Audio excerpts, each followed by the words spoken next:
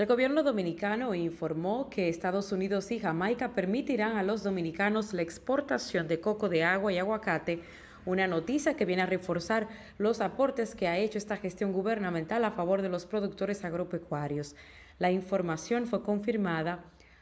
al Departamento de Sanidad Vegetal del Ministerio de Agricultura de nuestro país, que dirige la ingeniera Rosa La Sala, por Ibrahim Shair, jefe de AFIS USDA mediante una comunicación.